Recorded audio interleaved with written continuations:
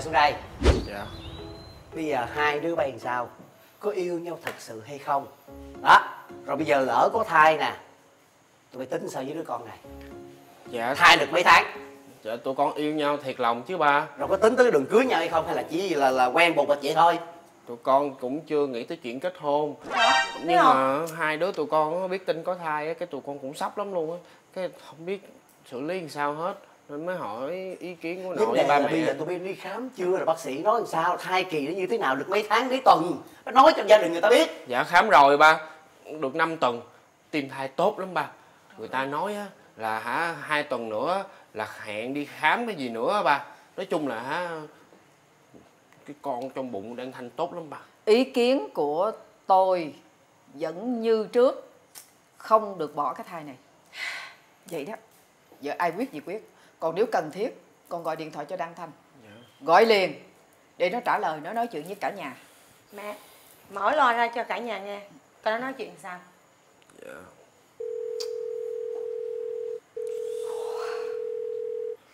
Alo, sao mà gọi điện hoài á? bị gì á hỏi nó coi sao vậy?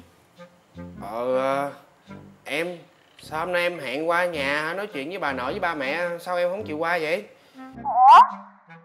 Em có hứa hả? Chết rồi, chết rồi, chết rồi, chết rồi Nhậu xỉn quá quên mất tiêu rồi Quên, quên rồi cái gì nhậu nữa hả à chắc là giả bộ uống nửa lon rồi hô hào cho nó khí thế đúng không chứ làm gì em biết nhậu Đâu có Bữa nay em uống ba lon luôn á Nhiều gặp mấy đứa bạn cũ Tâm trạng chán quá Nên tính uống một chút Ai về quá chén Xỉn luôn Về nhà tính ngủ một chút. Ai về quá chớm. Ngủ luôn Quên luôn Quên qua nhà luôn. Ờ không mấy ngày mai em rảnh không? Để ờ, anh qua anh rước em á qua nói chuyện với ờ, bà nội với ba mẹ nha. Mệt quá mệt quá Nói đã hết á Em đã nói rồi. Chuyện này là phải nhúc kính. Giờ biểu gặp. Nói gì? Chứ không qua đâu không qua đâu qua nói chuyện với bà nội với ba mẹ anh. Nói chung là bà nội với ba mẹ anh á chỉ muốn biết á là em muốn cái gì thôi à. Bà nội anh thương anh lắm. Qua nha qua nha. Được rồi được rồi được rồi được rồi. Mệt quá không? Ngày mai qua chở em. Với lại à, gửi lời xin lỗi gia đình giùm em nha. Bye bye. Ờ ba ba em. À, ngủ ngon nha con gái con lứa gì biết mình có bầu mà không giữ gìn sức khỏe mà đi nhậu vậy đó hả? Bây giờ á mình suy người mình nghĩ tới ta một chút đi nha. Nó còn nhỏ mà. Nữa mẹ cứ nó nói còn nhỏ trẻ mà. hoài. bây giờ mình cứ từ từ mình khuyên bây giờ mình chưa gặp mặt phải gặp mặt đi. Mình tiếp chuyện đi rồi mình mới đánh giá con người qua làm sao. Nghe. Nhưng mà cái này vẫn là cái điểm trừ rồi đó nha con. Dạ. Đây là điểm trừ nha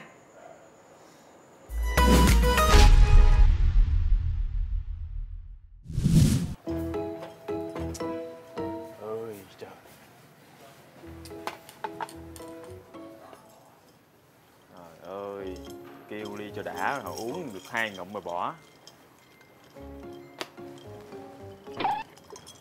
Trời mình làm cũng ngon mà anh phải dở đâu trời. Trẻ bây giờ uống gì? Phí phạm dễ sợ.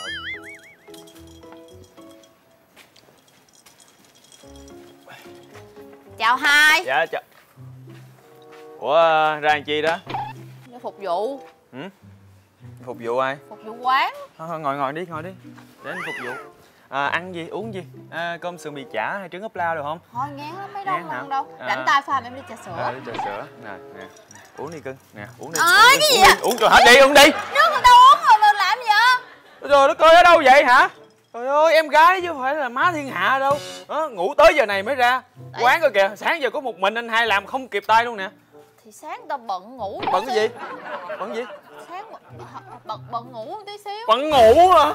Biết bận quá hả Giờ em với anh phụ nè. Phụ cái gì giờ này khách khứa đâu nữa mà phụ. Ra phụ cái đếm tiền cái gì? Giờ rảnh đúng không? Vô pha đi trà sữa uống thôi thèm quá rồi đi. Sữa hả? Mày ra trễ mày còn đồ uống trà sữa nữa hả?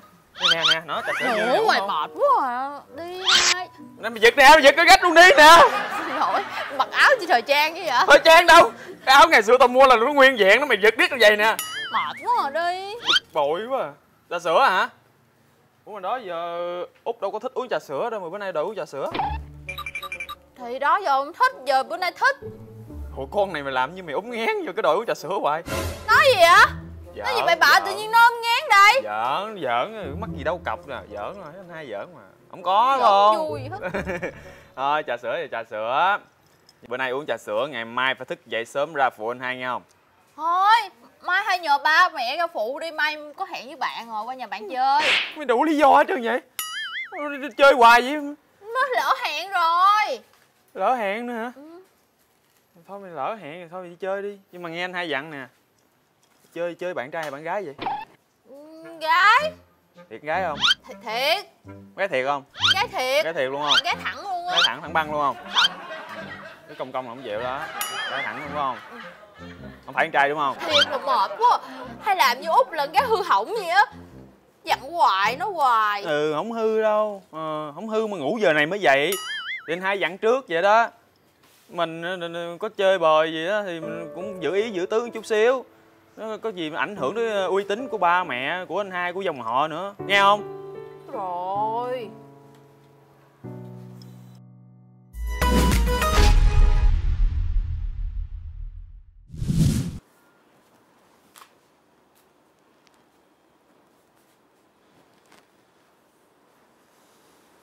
Hay quá à, giờ này mà còn đọc sách được kìa. Ngồi nói chuyện với em? Ngồi nói chuyện với em? Không có đọc sách gì á. Nhìn lên cái gì? Anh nói cho em biết đi.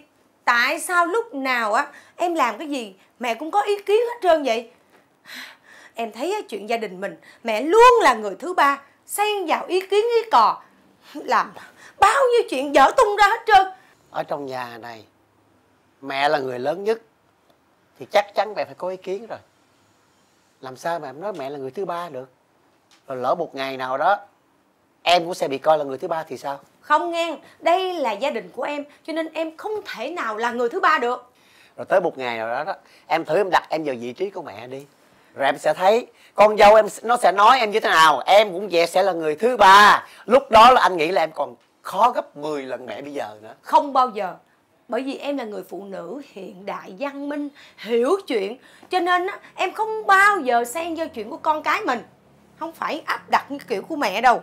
Ừ, em nói hay lắm. Để tới lúc đó đi rồi anh coi.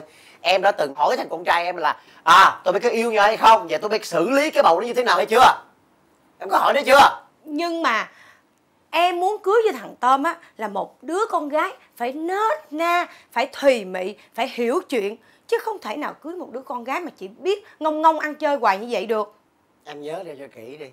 Hồi trẻ tụi mình á còn bứt phá giới hạn cỡ nào đừng nói tới mấy đứa nhỏ bây giờ. Tại anh dụ dỗ tôi chứ bộ.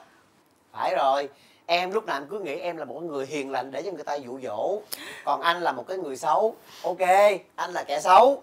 Em nên nhớ kỹ nha em đừng nên bao giờ đánh giá một người con gái qua cái chuyện mà người ta đã từng ngủ với bạn trai hay người ta lỡ có bầu trước với bạn trai đi nói lại. Anh cũng bên vực nó à. Nhưng mà em nói rồi đó.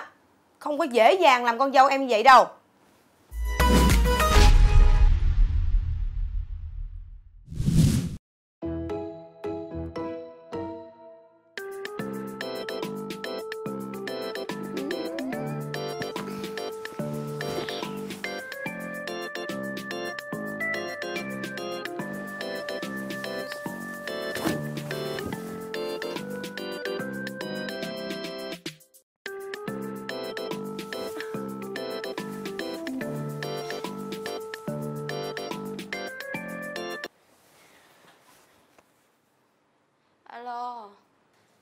Trời đất ơi vậy chưa?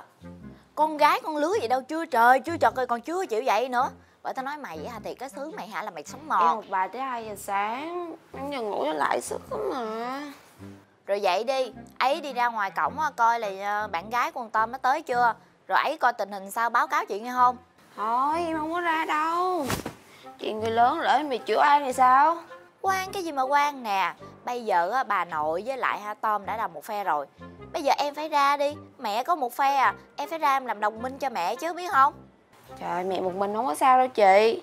Chị tưởng mẹ dễ bị ăn hiếp lắm á hả? Bây giờ có muốn chị xóa nợ cho 3 triệu không? Muốn thì đi ra Nhanh lên. Chị tưởng em là người bán rẻ nhân cách. Bị ném cái lòng bạc lẻ đó hả? Vậy thôi giờ chị cho mày thêm 2 triệu nữa đó. Thôi được